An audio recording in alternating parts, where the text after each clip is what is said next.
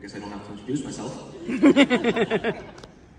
um, I don't want to waste anyone's time. I just want to say something real quick about this presentation, and that is just who inspired me to do it, really. And, you know, I had this word on me for a while, and I, I couldn't shake it. And it was just, it was something that came to me. I would think of the words, and I would think, man, I should really present that, but it just wasn't me.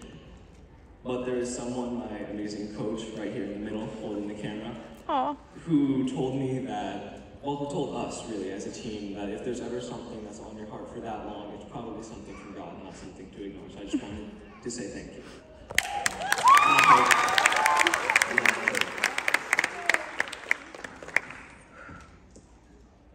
Seeing is believing. And people don't want to believe in what they can't see. Right now, you can see me, you can hear me, you know that I'm real. Here's the ordeal. You've never seen God face to face, and you're expected to just believe by faith. But that doesn't change our human ways that always persist to come back and say that seeing is believing, and it's too hard to believe in something you can't see.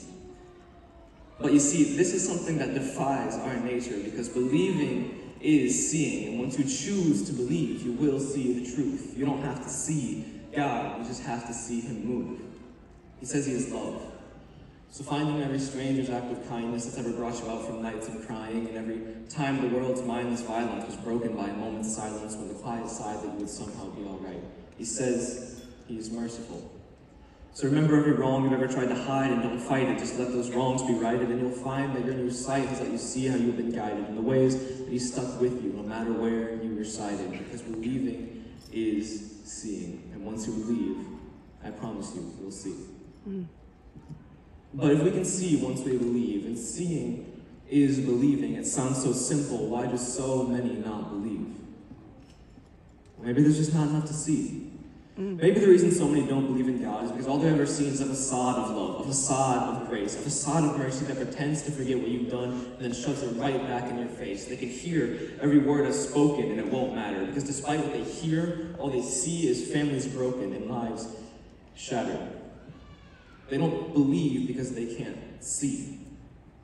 And they can't see because we won't show them, because we are content for them to just hear. And we preach from afar, we're too afraid to get near and show them what's right here, so our words inevitably fall on deaf ears.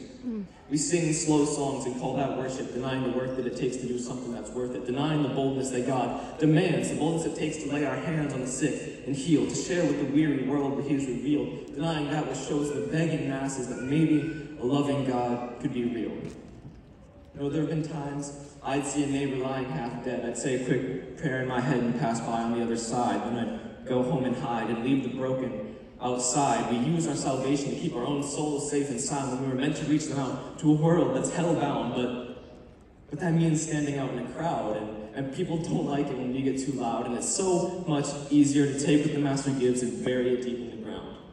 Hmm.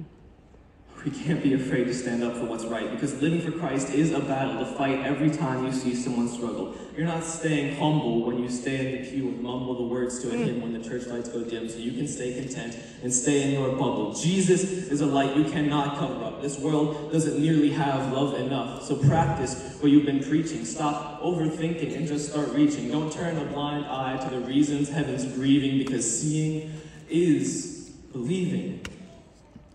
And if you want people to start believing, you better give them something to see. Mm. Thank you.